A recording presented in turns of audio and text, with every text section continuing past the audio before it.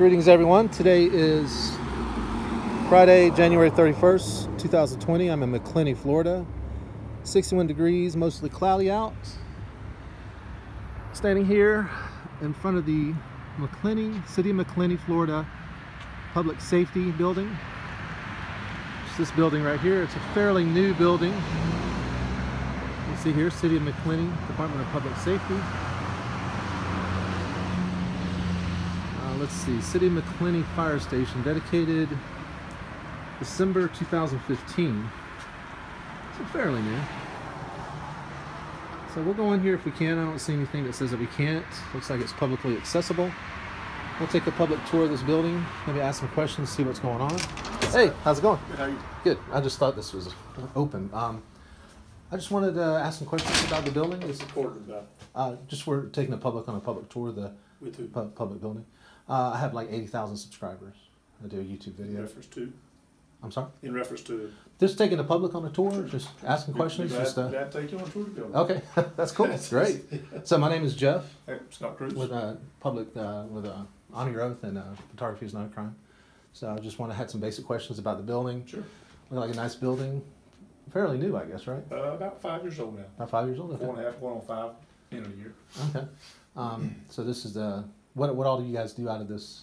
We just run the local fire fire service for the city. Oh, okay. So it's not like a um, uh, what do they call it? The emergency operations center or anything like that, where there's. we have the capabilities of running that. If we Mhm. had to run it for our own, normally our emergency operations center is part of the sheriff's office for this county. Okay. If we had to run our own for the city of McLean, like a natural disaster or a big emergency, we could, we have the capabilities of doing it to a degree.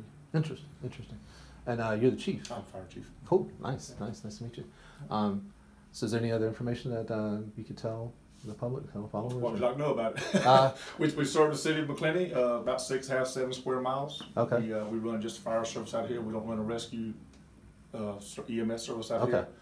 We run, um, what we call third-party service with a county rescue service. They provide the EMS service and we back them up in our jurisdiction. Um, we just run our basic fire EMS type calls, wrecks, you know, things, same thing every fire department does. okay. Well, thank you so much for uh, You're certainly welcome. being so open and everything. Now, I'll tell you, you'll take a tour of the building? Oh, sure, No, yeah. I'm saying, That would be it's, awesome. it's open building, it's a public building, I just say, I didn't know what you wanted to see, or if you wanted to That would be You're welcome to wonderful. it, Uh, Uh, this is kind of our, uh, Sure. How you this is kind of our, uh, ad- admin in. okay. It's got a couple of offices here. Um, we have a, a training room here that's open to the public to use for, for meetings and, and Oh, we do nice. Loan it out or, uh, different people use it for different reasons. Um, Okay. say, Do they do like city council meetings here? They, Uh, City Hall has a, uh, a chambers across the street for City Hall, I mean, for, uh, city council meetings. Um, we have, uh, civic groups, um, women's club, just different things. Need a little meeting area, we, we allow them to come in and use it. Like I said, it is a public building, so they, Wonderful. we, we do offer it out. We don't advertise, but people that know about it, they, you know, they call us occa- occasionally, go, hey, can we use y'all's training or meeting room? And, and, and we loan it out, so. Great. Great call. We usually inquiring about our uh, EOC capabilities. This is kind of our dispatch area, so we do have the capabilities of running, like I say, uh, doing our own dis, we don't do our own dispatching, but we have the capabilities of doing our own dispatching. Okay. Just in case if we're Yes, back up. our, our dispatching comes through the local sheriff's office. All right. So, so for redundancy, Ye- for yes, safety it- reasons, is. that makes sense. That's Uh, good to hear. That's good We to hear. can, we've been used as a backup to them, like during big storms and, and, and big events. If they get overwhelmed, they can transfer nine-one-one call straight to here. We can put somebody in here and house it here. Okay. And then we can do our own dispatching for us. Uh, there is another fire department in the county. The county has a fire department outside of our jurisdiction. Right. Uh, and we can do dispatching for all the agencies, short of the sheriff's office. Understood. They're on a whole different radio system. than we. Okay. Thank you. Kitchen and day room, Wow. yeah. Guys, to relax in the evening times. We, we, we don't let them sit down and do too much relaxing until after five o'clock. Okay. Uh, usually during the day, we try to stay busy, even if we're on call. We got a gentleman studying for his paramedic exam over here. Oh, okay. Uh, they've been out doing some truck maintenance and truck checks and stuff they do every morning, have a little routine they do every morning, so. uh, Right. Usually try to stay busy, not just to sit down as, as a lot of the public yeah, perceives us as to sit down and watch TV and eat all day. Well, it's, yeah. Um, It's nice anyhow, to have though, just in case. yeah, sure, sure. Uh, each, each shift has their own refrigerator and pantry, so they kinda keep, keep that separated. We have three Okay. shifts. Um, have a little nine-one-one or nine-eleven memorial. Um, So this is still being from one of the buildings? is a piece of steel from, from one of the uh, buildings at the, uh, at the site. Um, Amazing. I was able to obtain it a number of years ago and uh, make a little, little uh, presentation there.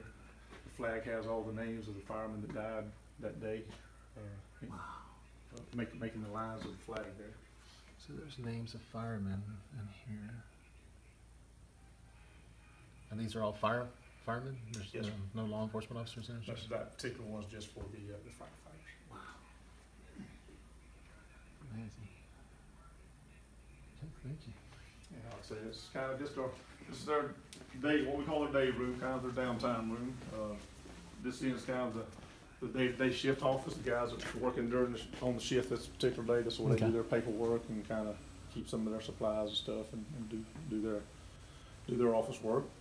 And this is kind of the living quarters, uh, have a men's side locker room and, and bunk room, and then we have a women's, uh, locker room and bunk Okay. room on that side. Gotcha. Um, Housekeeping stuff, laundry room, little storage room. Outside patio for, for outside cooking. Nice. And this is the, the apparatus bay. This is the trucks we keep here on a day in, day out basis. This is, this is what we call a squad here. Uh, carries some of our technical stuff such as rope rescue, dive equipment, um, air system for, for breathing air, for, for diving in, and all our firefighting gear, so. Okay, and then you have the, the regular engine, I This guess? is a regular engine, that's our fir, what we call our first due-out engine, that's, that's the one they make calls with every day, day in and day out. Okay, Um, and this the is a- workhorse. This is a, a, a ladder truck here, it's a ninety-five foot, what we call a tower or ladder, a platform truck. Okay. Pretty amazing. And we have a, a, a brush unit, wildland truck at the back there, a little smaller than.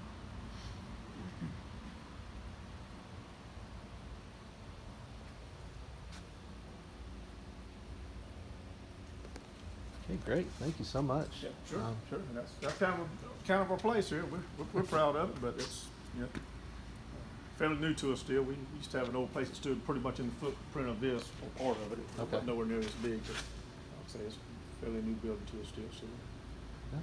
very, very, very happy with it. It's a blessing to have. It, it is. It really has been. It's, I can uh, I can give you my card. It's Sure. kind of had it in my Sure, pocket for a few days. Look good. Like I said, my name is Jeff. I'm with Pennac News. I'm Okay. on your oath. I'm not sure if you've heard of me or familiar with who No. I am or anything like that. Okay. Um, but thank you so much. You're This certainly welcome. Great, open, You're transparent, welcome. and uh, awesome tour. Thank you. You're certainly welcome. All right. Anything we can help you with. All right. You have a good day. Thank you. Okay, so that's a uh, big pass for the city of Macclenny, uh, City Hall, and across the street over here, at the uh, City of Macclenny Department of Public Safety, where I was just at, and they gave me a nice tour. And uh, this is the way it should be done. Uh, there was no panic. Um, these folks treated us very well. Uh, they did their jobs. They didn't call the police. Didn't freak out. Uh, and this is just all we as civil rights investigators or First Amendment auditors, whatever you want to call us, want to be want to happen. You know, we're accused of instigating and going out and trying to start trouble. We want bad things to happen, but we don't. What just happened here at the City of Macclenny uh, Department of Public Safety over there is exactly what we want to happen. We want public employees to respect our First Amendment protected right, to gather information about what public officials do on public property, to know what our public officials are doing, to